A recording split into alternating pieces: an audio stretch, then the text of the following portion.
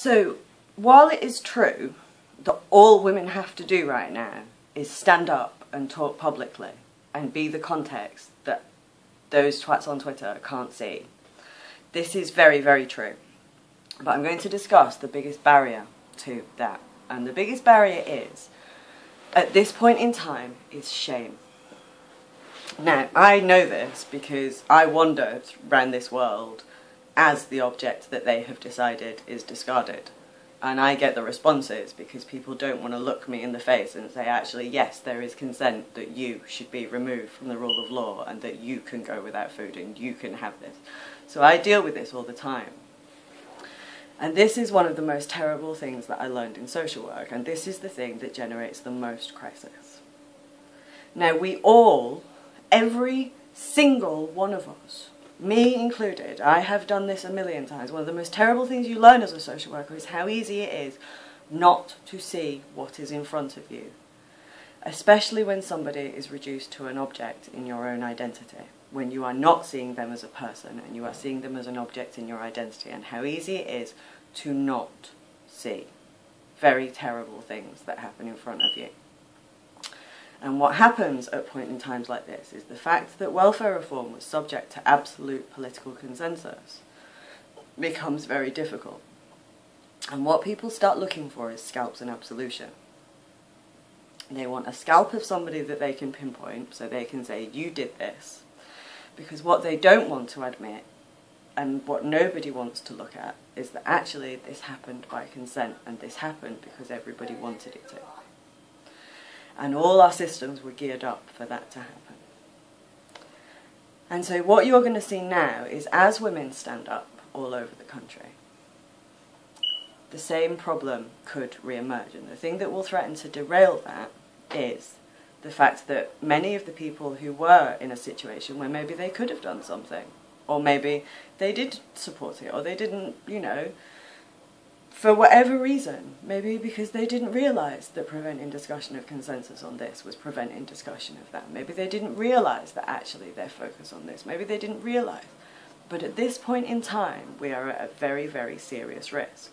So while the Labour left have done what they've done for us and they've made themselves completely toxic, they've demanded this conversation, while the TERF thing has come up and forced women organically all over the country to start recognising that equality for women is held up using safeguarding, protection from male violence, ability to do other things. And while women are finally saying, actually, we've kind of had enough and we're going to meet and talk publicly, the thing that will threaten to derail this is shame because when all those power dynamics come back together, it is very, very human to not want to say, actually, this was a consensus that I was part of. And so the biggest danger in the UK right now is that, and I know this is true, like, I'm unemployable. I'm completely unemployable because I am a single parent, because I am a person who was an object of policy because I have been forced in the last eight years to say, actually, that's the rule of law and you're not behaving well. And I have every right to say that I've been withdrawn. I'm completely and utterly unemployable. I'm overqualified for the jobs that I would do locally, and I can't even apply. I might, as you know, I have been absolutely, it's been made clear to me. And part of the reason that I'm unemployable is because what I have to say is that this was by consent, this undermined the rule of law. This possibly killed about 100,000 people, and I was in that population. And that's a terrible thing. That's a terrible, terrible, terrible thing. And so it's this process now that we have to get through. All the shifts outlined in Playlist 1 have happened. Every political party has to get, has to acknowledge those shifts and those systems to get out of this mess. But what we also have to get past is the last eight years, which was by consent.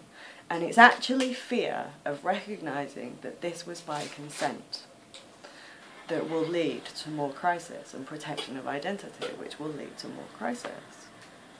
So part of the reason that I'm making these videos is that so that I can say, as an object of policy during this period, as a woman for whom equality was rolled back, as somebody for whom everybody agreed that I could be removed from the rule of law to the point in time To the point where, on Twitter, I am unabusable. You can do what you want to me.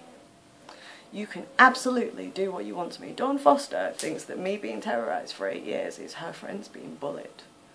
And her friends have demonstrated her reduction of people to objects allows abuse. And I have to say, as someone who's worked with power dynamics for a long time, if you think you've seen the limits of what one human being can do to another once that person is reduced to an object, you think again, we are endlessly fucking creative on that score. So even though we have in our hands right now the ability to stand up and make all this shit fall apart just as women by standing up and saying we are the context that these people cannot see, we are also at a massively dangerous point in this country. And it's actually shame over the last eight years, and shame and not wanting to discuss the consequences of the last eight years, which may lead us to escalate, and which may lead us to actions which cause more harm. So I don't know if that made sense really, it might not have done.